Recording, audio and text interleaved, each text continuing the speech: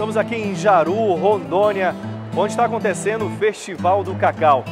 Jaru aqui e toda a região está em festa com os pequenos empreendedores. É o Sebrae, o governo do estado de Rondônia, o governo federal também, através do MDIC, proporcionando a verticalização desse produto, do cacau, para que nós possamos agregar cada vez mais valor para esses pequenos produtores. Com isso, gerando mais emprego e renda e economia para o nosso estado de Rondônia. Uma gama de parceiros aí que se uniu para fomentar esse evento hoje, para estar beneficiando a nossa cadeia da cacauicultura. O cacau está em evidência e nós não podemos deixar de cuidar dessa cadeia neste momento. É o momento certo e o Sebrae está junto com os produtores de cacau, os chocolateiros, todas as empresas que agregam valor à cacaucultura de Rondônia. Esse festival ele é muito importante para a cadeia porque incentiva os nossos produtores a trabalharem o pós-colheita e uma qualidade das nossas amêndoas. Aqui na região amazônica, né, o cacau é considerado uma cadeia produtiva estratégica, por quê? Porque o cacau, além de gerar emprego e renda, né, por meio do investimento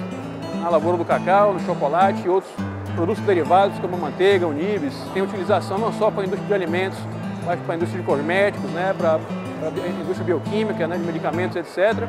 Ele também é, serve como instrumento de reflorestamento por meio de sistemas agroflorestais. Então é uma oportunidade para o produtor não só recompor o bioma amazônico, que é uma exigência é, global hoje, né, para que o Brasil consiga ter é, é, relações comerciais bem-sucedidas em todo o mundo e também pela necessidade de mitigar a mudança climática. Então, é uma oportunidade econômica né, estratégica, ecológica né, para toda a Amazônia, a cadeia produtiva do cacau. Eu acho de extrema relevância eventos como esse ajudam o empreendedorismo a crescer, a focar nos seus negócios e, principalmente, ajudar as pessoas a entenderem como é importante a gestão do seu negócio.